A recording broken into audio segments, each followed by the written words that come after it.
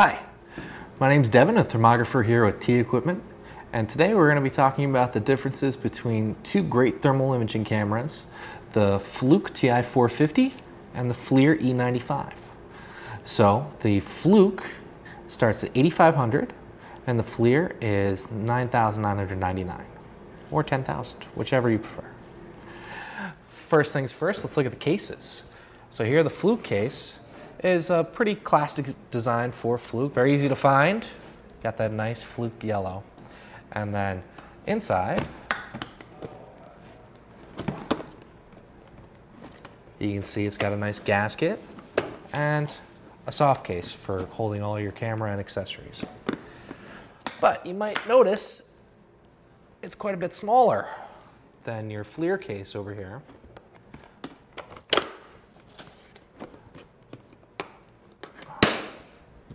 Which I think I might put a little bit more stock in myself.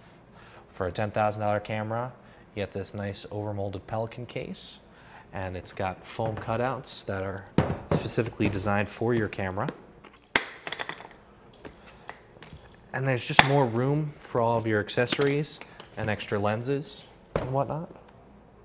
Fluke did a really nice job with all of their cases, but looking at the E95, it's kind of a stark contrast for the cameras themselves, the sensor technology is a little bit different. The Fluke camera uses a 320 by 240 sensor, and that's a great sensor. It's going to do a wonderful job for most of your thermography needs. But FLIR is up the ante with the E95.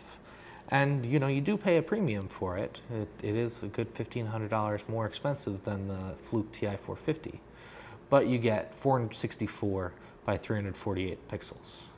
Uh, it's a mouthful, kind of an odd number, but it does produce a much crisper image than the 320 by 240 sensor. Both cameras are going to have 30 millikelvin sensitivity on each of those pixels. So that really means 0.03 degrees Celsius, which is going to be more than adequate for all but the most scientific of measurements temperature range on the FLIR is going to be a little bit higher than the Fluke. The Fluke tops out at uh, around 2200. I believe it's 2192 degrees Fahrenheit. Whereas the Fluke is going to go, I'm sorry, the FLIR is going to go up, go up even higher. And that number is 2800.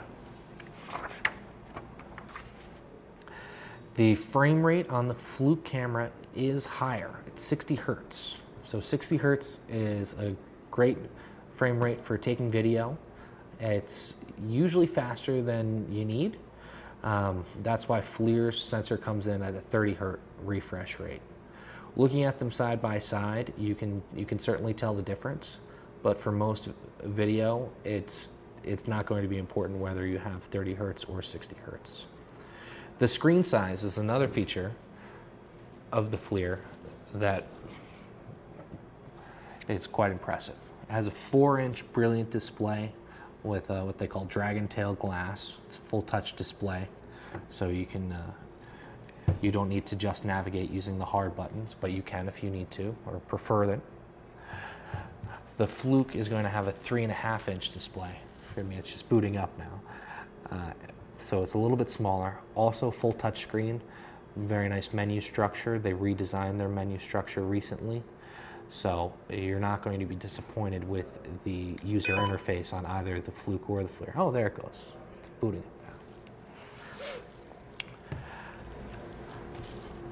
The software is a, a big point for a lot of technicians and thermographers.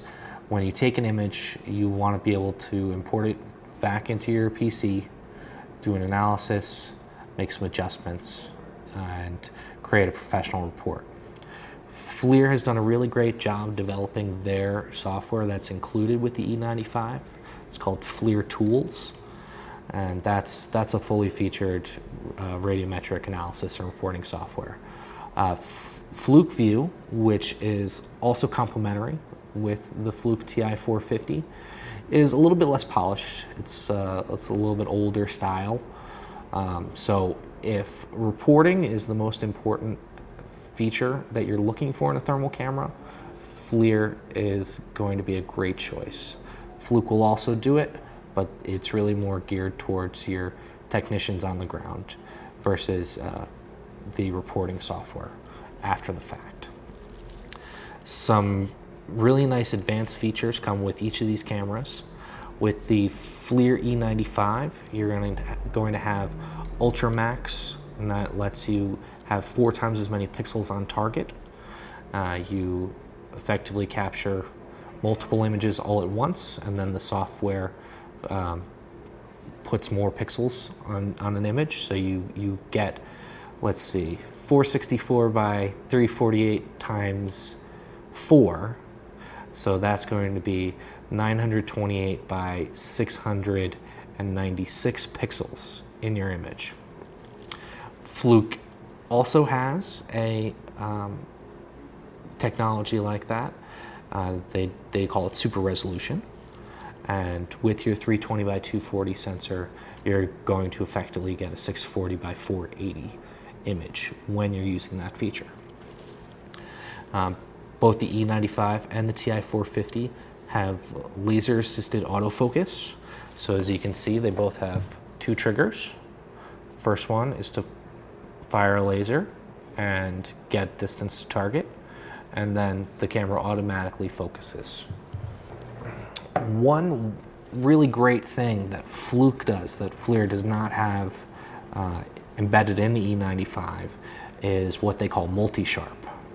So it's, it's, akin to that, that laser sharp focusing, which is a, a Fluke term, laser sharp. Um, but multi-sharp is when you have objects at different depths of field and you just want to capture one image with both in focus. And uh, for a thermographer, taking in focus images is really important because an out of focus image can't be fixed in post processing. And when you're out of focus, your temperature readings are going to be off. So when you use the multi-sharp feature of the Fluke camera, uh, it actually takes multiple images at once and then it cuts them up and slices them and then puts them back together on camera so you just get one image with different depths of field. So everything is in focus on one image. It's a, it's a really great technology that Fluke has put a lot of work into. Uh, other things you should keep in mind are the image blending technologies available on both the Fluke and FLIR cameras. So Fluke has what they call IR Fusion, and that is uh, where they change the opacity of the visual image uh, versus the thermal image. So there's there's a blending that goes on. You can have you can have just thermal or just visual, or you can have 75% thermal, 25% visual, and that that's a good way to take uh, some optical con- context and put it into your thermal images. Uh, you, it's always going to take an optical and a thermal image, so you can you can change it in your in your report or go back and cross-reference the optical image with the thermal image. But uh, it's just a blending. With FLIR, they have a proprietary technology called MSX. Now, MSX does the same thing. It takes an optical image and a thermal image, but then FLIR's software uh, does some edge detection and embosses visual details on top of the thermal image. So that, that's a really cool thing that just FLIR cameras do. With the really high resolution, the image blending techniques aren't really quite as important. It's, it's more important on the lower end cameras uh, when you have an 80 by 60 sensor or even a 160 by 120 sensor. It makes a difference, and FLIR definitely has an edge there. Um, but with sensors 320 by 240 or better, it's it's really just a matter of preference. Uh, so those are the the big spec differences between the Fluke and FLIR cameras. But let's take a look and see see how they match up in the field. Let's take some pictures. So here we have the Fluke TI450 and the FLIR E95 side by side. I'm just looking at a breaker panel here. Uh, forgive me, they're, they're both meaty cameras. This is giving me an arm workout. But first impressions, The bigger screen on the FLIR camera is very nice. The Fluke feels a little bit sturdier in the hand, has a little bit nicer of a hand feel, but that could just be a function of having the wrist strap. Um, they're both both very well made and have good ergonomics. Um, if I move them side to side, you get a sense for that refresh rate difference. You can see that the Fluke TI-450 with its 60 hertz refresh rate actually tracks better while you're scanning around. And there's just the very, very little noticeable delay on the FLIR with the 30 hertz resolution. Uh, the higher resolution on the E95 does give a crisper image, but for an application like this, it's really more overkill than anything else. It's just kind of interesting and nice to see that level of crisp detail. Let's uh, change some of the settings here and see how it looks with MSX and Fusion.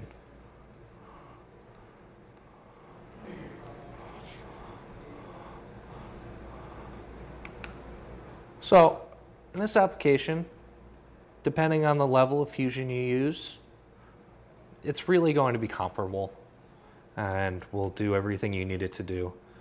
The, the embossed details from the FLIR technology are a little bit crisper and clearer, but the, the Fusion does just, just as nice of a job, just giving you context with, uh, with labels, which is really the most important feature when you're looking at a blending technology. So, as you can see, both the Fluke TI-450 and FLIR E95 are fabulous cameras. They're really top of the class. Uh, right now, Fluke has made an even more powerful camera, the TI-480, but that's beyond the scope of this particular video. Um, if you we're on the fence between the two cameras, and we're really in uh, in a tight budgetary space. Uh, you might want to consider the TI-450 over the E95 because it does start uh, about $1,500 less. Um, but if you wanted to go even a step further, you could get the TI-400, which is effectively the TI-450, but without a few of the features that we've already talked about. It's not going to include multi-sharp. It's not going to include super resolution. And the sensitivity on that camera is going to be 50 millikelvins instead of 30 millikelvins. So something to consider if those were just a little bit out of reach or were more, uh, more interesting than important for your application. Uh, Fluke and FLIR both make excellent cameras. I would highly recommend either to any end user. Um, the FLIR camera is more expensive, has a few features that I think give it give it an edge over Fluke. However, the multi-sharp is a really excellent technology. So that's our comparison between the FLIR E95 and TI-450. Again, my name's Devin. I'm a thermographer here with TEquipment. Please give us a call if you have any questions. Thanks for watching our video.